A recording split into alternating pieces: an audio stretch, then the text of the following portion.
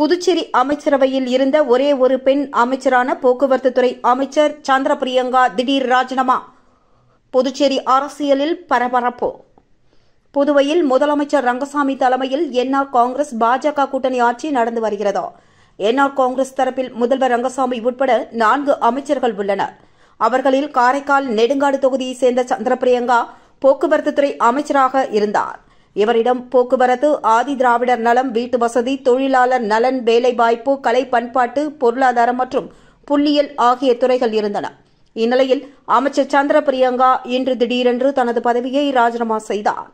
தனது ராஜினாமா தொடர்பான அறிக்கையை அவர் தற்பொழுது வெளியிட்டுள்ளார். அதில் தன்னை சுற்றி பின்னப்பட்டுள்ள வலையில் சிக்கியுள்ள நிலையில் நான் இந்த கடிதத்தினை எழுதுகிறேன் என்றும் ஒரு சட்டப்பேரவை உறுப்பினராக மாநில அமைச்சராக என் பணியினை மன திருப்தியுடனும் மக்களின் ஆதரவுடனும் இந்த நிமிடம் வரை ஓயாமல் செய்து வருகிறேன் என்றும் தாழ்த்தப்பட்ட சமூகத்தில் இருந்தும் பெண்கள் அரசியலுக்கு வந்தால் பல இன்னல்களை சந்திக்க நேரிடும் என பொதுவாக கூறுவார்கள்.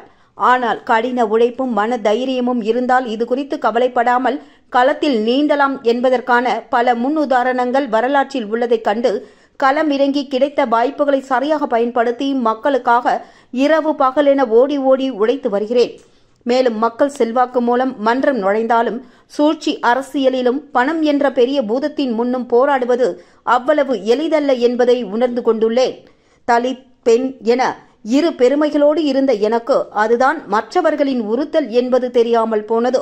தொடர்ந்து ஜாதிய ரீதியிலும் பாலின ரீதியிலும் தாக்குதலுக்கு உள்ளாவதாக உணர்கிறேன்.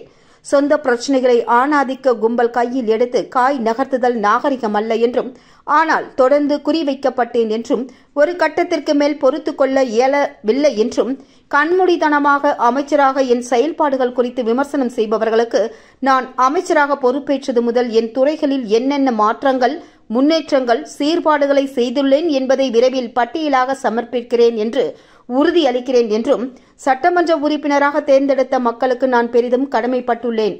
ஆனால் ஆதிக்க சக்திகளுக்கு எதிராக தொடர்ந்து போராடி அமைச்சராக நீடிக்க இயலாது என்பதை உணர்ந்து எனது அமைச்சர் பதவியை நான் ராஜினாமா செய்கிறேன் என்றும் இதற்காக எனது தொகுதி மக்களிடம் நான் மனமார்ந்த மன்னிப்பினை கேட்டுக்கொள்கிறேன் என்றும் மேலும் என் மக்களுக்கு ஒரு சட்டமன்ற உறுப்பினராக என் பணியினை தொடர்ந்து ஆற்றுவேன் என்று உறுதியளிப்பதாகவும் அந்த அறிக்கையில் கூறியுள்ளார்.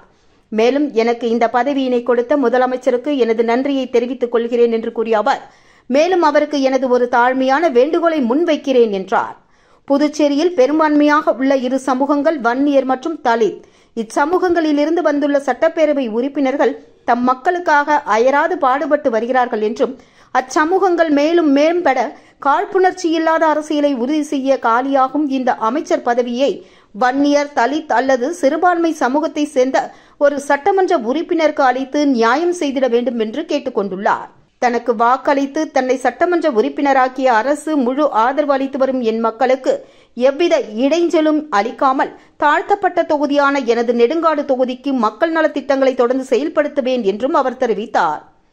இறுதியாக பெண்களுக்கான முன்னுரிமை அதிகாரத்தில் பங்கு முப்பத்தி மூன்று சதவீத இடஒதுக்கீடு என மேடைகளில் மட்டுமே முழங்கிக் கொண்டிருப்பவர்களுக்கு எனது நன்றியினை தெரிவித்துக் கொள்ளவும் விரும்புகிறேன் என்று அதில் அவர் குறிப்பிட்டுள்ளார். அமைச்சர் சந்திர பிரியங்கா கடந்த ஆறு மாத காலமாக தனது துறைகளில் செயல்படவில்லை என்று குற்றச்சாட்டுகள் எழுந்த வண்ணம் இருந்தது. இது தொடர்பாக முதல்வர் ரங்கசாமியிடம் புகார்களும் சென்றது. அவர் சந்திர பிரியங்காவை அழைத்த அறிவுரையும் தெரிவித்துள்ளார். ஆனால் அவரது நடவடிக்கையில் எந்த மாற்றமும் ஏற்படவில்லை என்றும் இந்நிலையில் அவர் தனது பதவியை ராஜினாமா செய்துள்ளது குறிப்பிடத்தக்கது.